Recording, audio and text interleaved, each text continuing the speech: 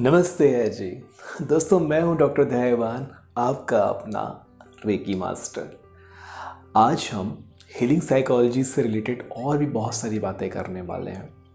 Recce healing में एक बहुत इंपॉर्टेंट पार्ट ये भी है कि आप अपने मनपसंद कैरियर को, मनपसंद जॉब को, मनपसंद फ्यूचर में जो आप ऐसे अबेंडेंस से रिलेटेड प्रॉस्पैरिटी से रिलेटेड चीज़ों को कैसे अपनी लाइफ में अट्रैक्ट कर सकते हैं, कैसे उसे मैनिफेस्ट कर सकते हैं, इस बारे में हमारे गुरुओं ने हमें सिखाया है।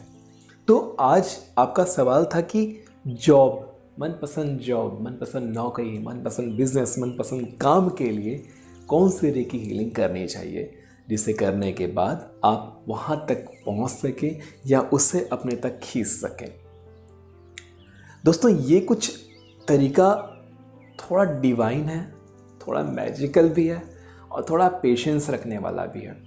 क्योंकि अगर आपको मनपसंद जॉब चाहिए तो आपका मनपसंद क्या है, ये सबसे पहले आपको पता होना चाहिए कि क्या स्पेसिफिक सैलरी क्या स्पेसिफिक जगह, क्या स्पेसिफिक कंपनी या स्पेसिफिक जो भी हो एटमॉस्फेयर वो आपको पहले एकदम क्लियर होनी चाहिए कि आप एक्चुअली में क्या चाहते हो। अच्छी जॉब का मतलब आपका क्या है?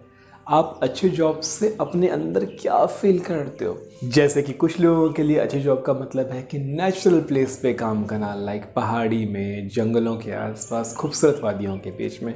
कुछ लोगों के लिए अच्छी जॉब का मतलब है किसी कॉरपोरेट प्लेस पे, एक अच्छी बिल्डिंग में एसी वाले जगह पे, एक मेट्रो सिटी पे काम करना।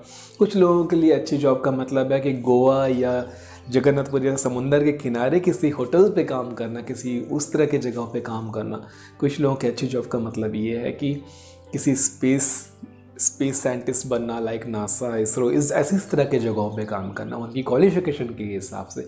कुछ लोगों के लिए जो अच्छी जॉब का मतलब गवर्नमेंट जॉब हो सकता है, कुछ लोगों के लिए प्राइवेट जॉब हो सकता है लोग एंटरप्रेन्योर बनना चाह सकते हैं, या कुछ लोग बिज़नेस करना चाह सकते हैं।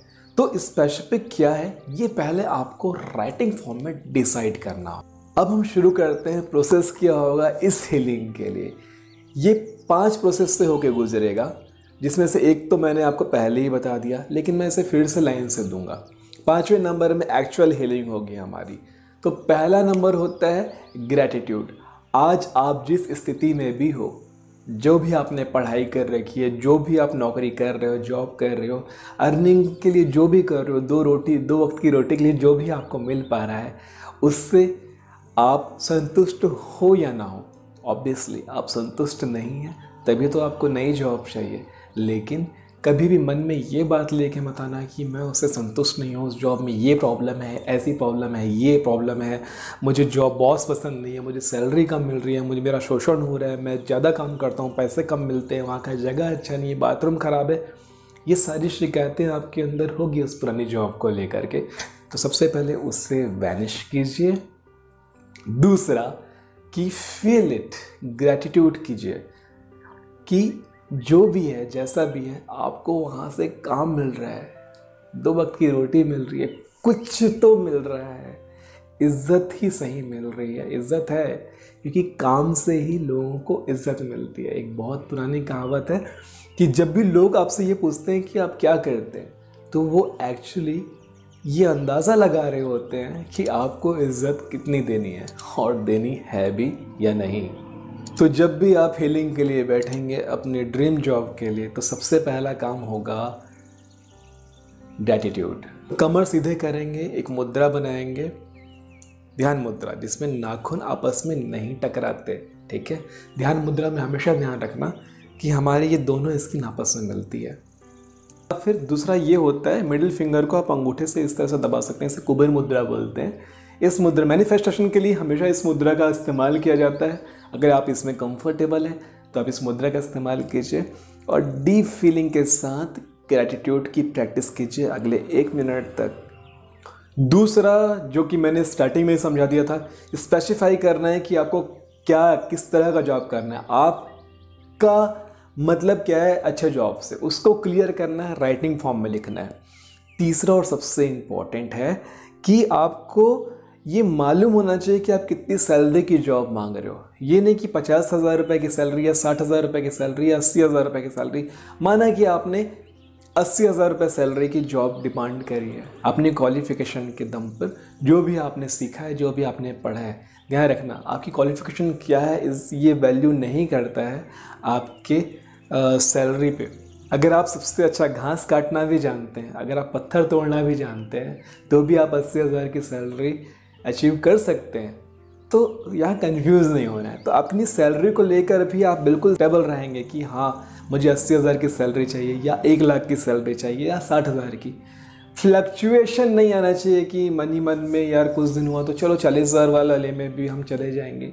तीस हज़ार की सैलरी मिली तो भी हम चले जाएँगे। तो ये यूनिवर्स को ना मिक्स मैसेजेस जाते हैं तो वो कंफ्यूज हो जाते हैं कि वो आपको क्या दें। फिर रिज़ल्ट भी मिक्स वाला ही आता है। फिर आप बोलेंगे कि अच्छे से नहीं हो पाया। चौथा और सबसे इंपॉर्टेंट है कि आपको महसूस करना है कि आप जॉब पाने के बाद कैसा महसूस करेंगे। आप अपनी फैमिली के साथ कैसे टाइम बिताएँगे? आप अपने दोस्तों के साथ कैसे टाइम बिताएँगे? आप उस पैसों का कैसे इस्तेमाल करेंगे? कहाँ डोनेट करेंगे? कहाँ खर्च करेंगे? कहाँ सेव करेंगे? कहाँ इन्वेस्ट करेंगे? और कैसे आप अपनी हैप्पी लाइफ में उस पैसों का इस्तेमाल करेंगे? इन सब चीज़ों को विजुलाइज करना है फील करना है। देखो, कोई भी कोई भी healing is equal to feeling कोई भी हीलिंग फीलिंग के बगैर नहीं हो सकती, चाहे वो आपकी हो, चाहे किसी और की हो। यहाँ पे हम एक बात ज़रूर कहेंगे कि reiki healing law of attraction से कोई अलग नहीं है। चीज़ें सारी वही हैं, बस फॉर्मूलाज और ज़्यादा अच्छे हैं। ये एशियंट हीलिंग फार्मूला है लॉ ऑफ़ अट्रैक्शन का ही। तो आपको समझना होगा कि आपको फील करना है। तो ये चारों चीज़ जिसे मैं समराइज कर देता हूँ। Gratitude specify your job salary about specification और सबसे इंपॉर्टेंट फील करें कि कैसा महसूस करेंगे आप। नाउ इसके बाद आता है मेन चीज़। एज अ रेकी हीलर आपको अपने पूरी रेकी हीलिंग के कॉलिंग प्रोसेस को कंप्लीट करना है, आह्वान करना है रेकी का, अपने हाथों को रब करना है और अपने मणिपुर चक्र पर रखना है। मणिपुर चक्र क्यों? क्योंकि ये एसोसिएट होता है अबेंडेंस से प्रॉस्पैरिटी से, ये समृद्धि से एसोसिएट किया जाता है। तो हमें अपने मणिपुर चक्र में सोलर प्लेक्सस चक्र पे अपने दोनों हाथों को रखना है और हीलिंग करनी है। हीलिंग देखिए, जो हीलर्स हैं, जिन्होंने रेकी हीलिंग सीख रखी है, जिन्होंने first level second level third level में से कोई भी कर रखा है, वो तो ये इजी कर लेंगे। लेकिन जिन्होंने रेकी हीलिंग नहीं सीखी है, उन्हें भी चिंता करने की कोई ज़रूरत नहीं है, क्योंकि reiki healing it's a formula reiki healing सीखने से आपके अंदर रेकी नहीं आती है। रेकी हीलिंग यानी कि प्राण ऊर्जा की ये शक्ति आपके अंदर पहले से मौजूद है। रेकी हीलिंग तो सिर्फ़ एक फार्मूला है जो उसे, एक टूल है जो उसे मैनिफेस्ट करने के लिए, उसे बाहर निकालने के लिए, उसे प्रोजेक्ट करने के लिए इस्तेमाल की जाती है। तो जो रेकी हीलिंग नहीं जानते हैं, वो भी अपना हाथ इस तरह से रब करेंगे और मणिपुर चक्र पे रखेंगे, जिसका लोकेशन आपकी नेवल से, आपकी नाभि से चार उंगली या पाँच उंगली ऊपर होता है। मतलब कि हार्ट चक्र से चार उंगली नीचे और नेवल से चार उंगली ऊपर बीचों बीच होता है मणिपुर चक्र। यहाँ पे आएँगे और उसकी हीलिंग करेंगे, अगले तीन से चार मिनट अफर्मेशंस दे देंगे एक खूबसूरत सा अफर्मेशन तैयार कर लीजिए अपने जॉब के लिए।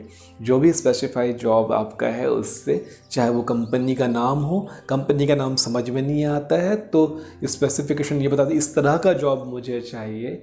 इस तरह से आप इतना क्लियर हो जाए अपने जॉब को लेकर के कि मुझे इस तरह की जॉब इस तरह की सैलरी इस तरह की जगह पे जॉब चाहिए, जहाँ का माहौल ऐसा ऐसा है।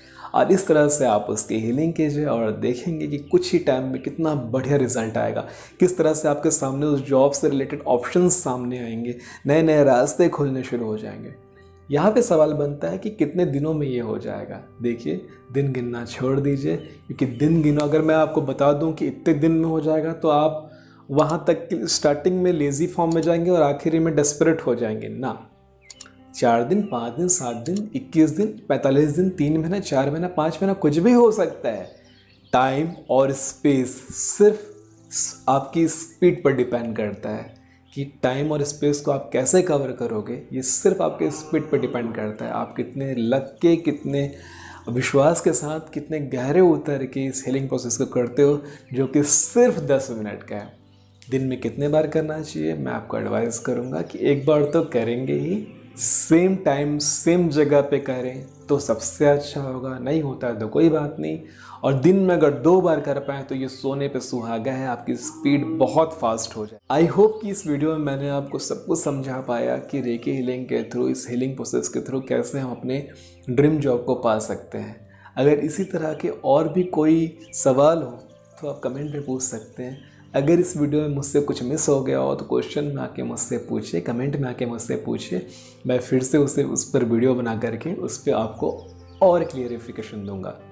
मिलते हैं अगले वीडियो में। तब तक के लिए, नमस्ते आज